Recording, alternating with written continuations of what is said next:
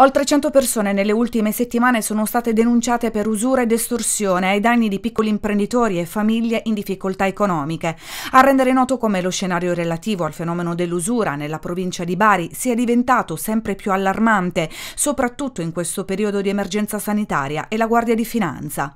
A finire sotto la lente di ingrandimento di militari, oltre al capoluogo pugliese, ci sono i comuni più forti economicamente, cioè Corato, Monopoli, Conversano, Trigiano e Rutigliano.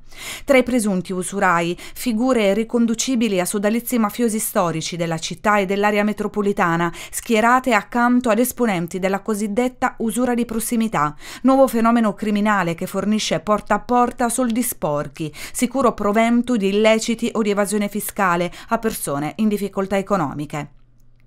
Le attività investigative, a seconda dei casi, sono state avviate dopo le denunce delle vittime. Lo schema del rapporto usurario di massima è sempre lo stesso, contanti contro contanti, con assegni cambiali o preziosi dati in garanzia o cambi di assegni. La vittima riceve un assegno in bianco emesso da un altro soggetto usurato e consegna a sua volta all'usuraio un suo assegno sempre in bianco, maggiorato nell'importo dell'interesse.